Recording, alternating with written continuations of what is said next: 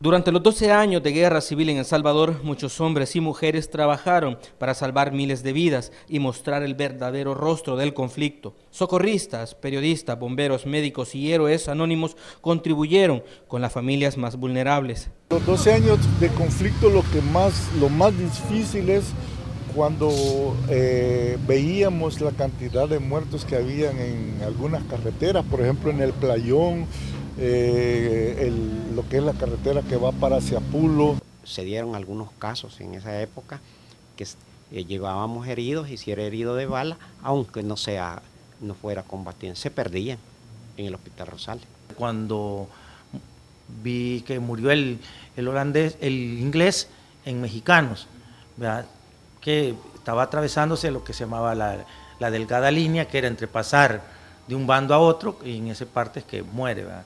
Entonces, propia la familia, aquello de que no solo era que las otras gentes desaparecían, las que no estaban dentro de nuestra familia, sino que ya nos tocó a nosotros.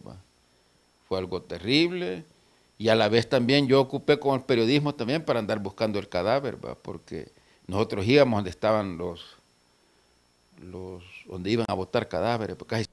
Las secuelas de la violencia afectaron de forma directa sus vidas, no fueron excluidos de la violencia vivida. Ellos vieron caer a muchos de sus colegas al lado de la sangre que derramó el pueblo.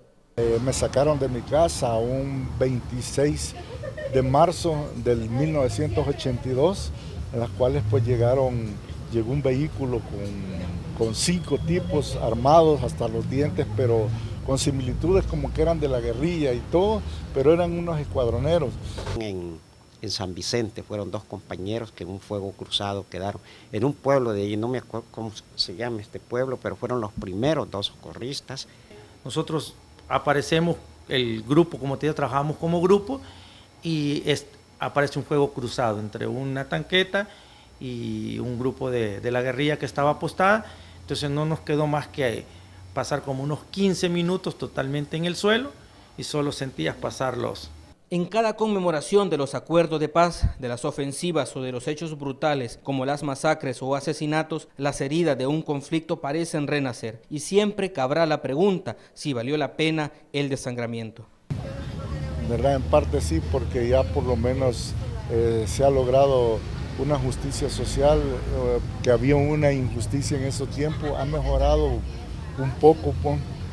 Creo que lo que vale la pena es que una sociedad luche por sus derechos y sus formas de... Ahora, lo que no debería pasar es que para lograr esos cambios tenga que haber una guerra. Creo que no, porque es bien difícil lo que el país, si vos ves, están los mismos pobres o más pobres, más pobres. La guerra ha dejado memorias imborrables en los que fueron parte de ella memorias que podrán servir para que las futuras generaciones no cometamos este mismo error. Con imágenes de Eric Alfaro, este es un reporte de Víctor Mengíbar.